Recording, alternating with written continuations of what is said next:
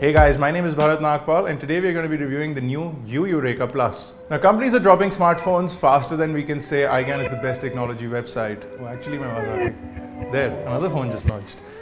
But the problem is that do we know whether these phones make sense for us? The company Yu Televentures just recently launched the Yureka Plus. Now the Yureka Plus is a revision to their original Yureka, but not a lot has changed and it's essentially more or less the same device. Does it make sense to pay an extra 1000 rupees, get in line for the flash sale and get the Yureka Plus? Let's find out.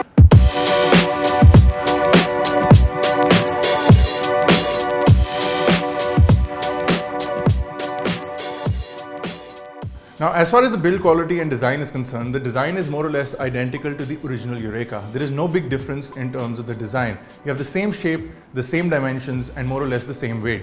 1 gram difference in both the devices. The Yureka Plus is also available in an alabaster white color, which was earlier not available with the Yureka. This color is pretty good to look at and also hold in the hand, and it's also going to last slightly longer, but it gets dirty easily. While color options is a good idea, we don't know how many units of these devices will go on sale uh, when they finally do go on sale uh, from the company Yu. The first Yureka was pretty solid and it fared brilliantly through our drop tests and scratch tests. The new Yureka Plus has a slightly more rigid body, which means that it's going to handle drops better. Also, the added Gorilla Glass 3 display protection means that your device is going to is going to fare better through scratches or drops uh, because of the added protection of Gorilla Glass 3.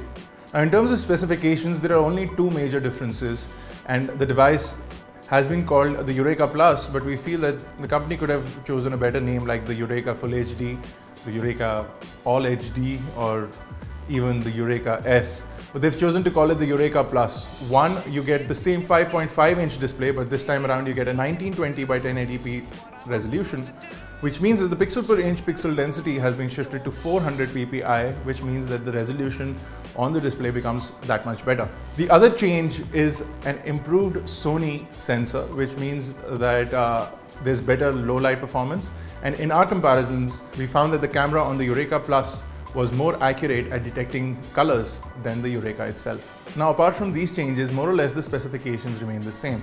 You have the Snapdragon 615 octa-core 64-bit chipset. You also have 2 gigs of RAM, 16 gigs of storage, expandability, and dual SIM card slots, uh, both of which can use LTE data. The battery also remains the same at 2500 milliamp hours and initially we thought that this is not going to be enough considering the fact that it's a 1920 by 1080p display. If we talk about performance, day-to-day -day usage has been improved considerably.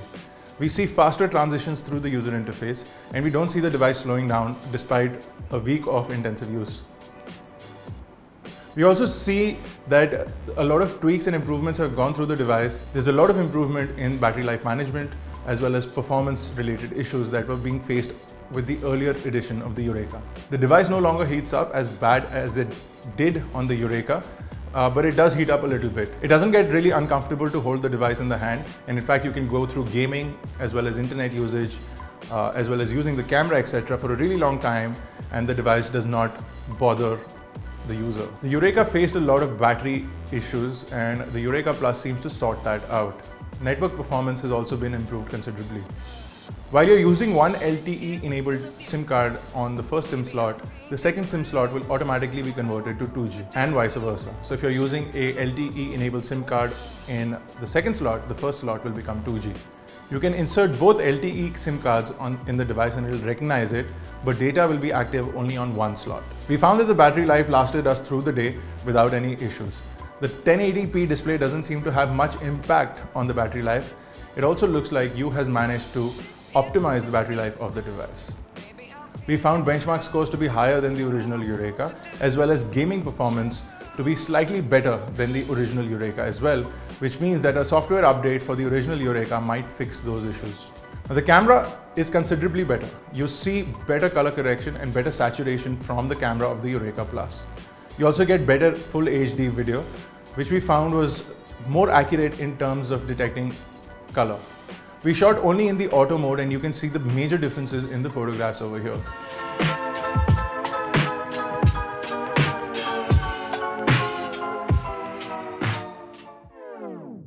The Yureka Plus also has an LED notification light which lets you know when your phone is charging or running out of battery. It'll also let you use the notification light for missed calls and SMS alerts. The Yureka Plus also supports OTG, so you can plug in a pen drive or an external USB hard drive to access your files, your music, videos, etc. from an external storage device. All in all, Yu Televentures has not made major differences to the original Yureka, but the Yureka Plus adds on significant things. A full HD display with a lot of resolution in there means that you get 400 pixels per inch, which is great to use. You get a crisper display experience and better colors on the display through and through. The Gorilla Glass 3 display protection gives you that added protection and prevents your device from getting scratched easily. The improved camera sensor also improves on your picture taking capabilities and now you can get better colors and better contrast in your pictures. While these may not be major changes, the price also effectively has not been changed a lot. With a rupees 1000 difference in the Yureka and the Yureka Plus, the Yureka Plus seems to be a better bet than the original Yureka, especially considering that the 1920 by 1080p display does not affect battery life as much as we expected it to. Also the fact that a lot of software optimizations have been made on the Yureka Plus means that the original Yureka should be getting an update soon to solve all those heating and battery related issues that people are facing on the original Yureka. If you have any further questions or queries, you can visit our full review on iGyaan.in. You can also catch us on Facebook, Twitter, Google+, Instagram, Vine, and Snapchat. All the links to those are in the description below.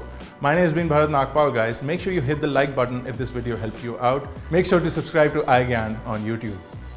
Thank you guys for watching. I'll see you in the next one.